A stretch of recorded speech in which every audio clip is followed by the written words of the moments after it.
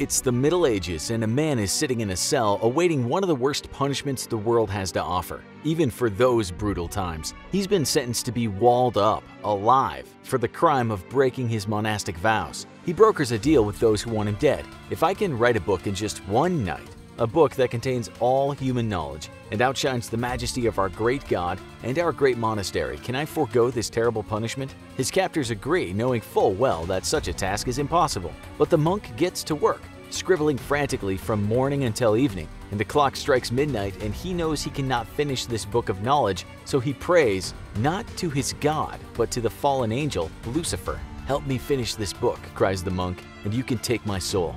Lucifer, not one to pass up such a great deal, agrees, and he finishes the behemoth of a book for the man. As a note of gratitude, the monk adds an illustration to the pages of the book, which is a sketch of the devil himself. That's the legend anyway. We'll get around to seeing just how true that could be. Let's go back to the year 1648. It's the last year of what's called the Thirty Years' War, a war that involved many European states and would claim millions of lives. What was it all over? Well, religion for one, and of course, power. In July that year, the Swedish army had overcome the army defending the city of Prague, a city located in the modern-day Czech Republic. What they found in a monastery there was something no man had ever seen before. They discovered a book, an old and spectacular book, something so big that it could hardly be picked up. It contained the full Latin Bible. It contained tales from ancient history, and it also contained the vast knowledge of medicine. Was this the book that the monk had written when in cahoots with the devil? One thing for sure is that it was and still is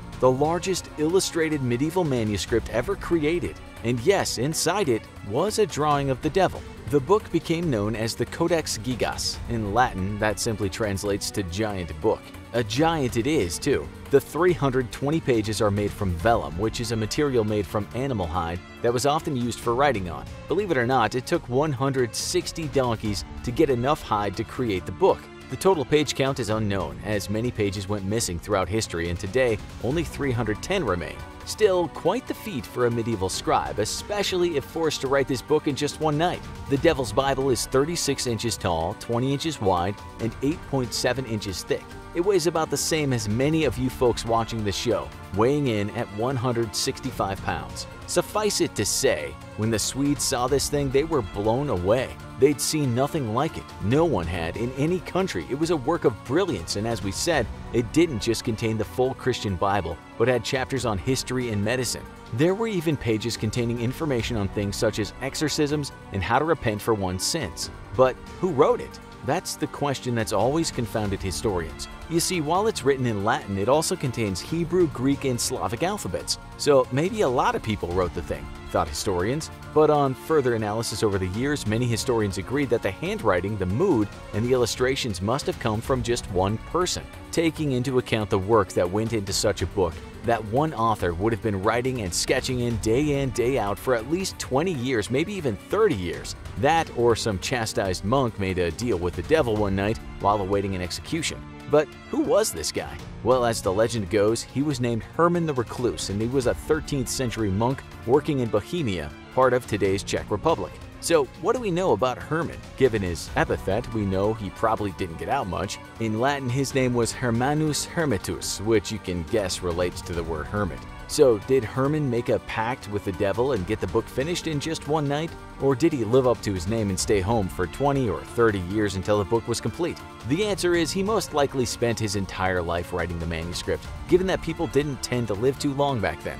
But why did Herman give the Prince of Darkness a page all to himself? It's not exactly clear. But if you open the book with the devil exposed, the opposite page is an illustration of a heavenly city. Perhaps Herman was making a point. Live a life of sin and this is the fella you meet after you die. Or live a sinless life and you get a ticket to heaven. In the pages after the picture of the devil, the reclusive monk gives detailed instructions of how to exorcise the Prince of Darkness, either from people or inanimate objects. There were also some spells that were supposed to heal the sick and two spells relating to conjuring the devil. The book is obviously anti-devil, so you might ask why is there a conjuring spell? Well, historians now believe that the conjuring spells were there to protect people from the devil, not get into bed with him.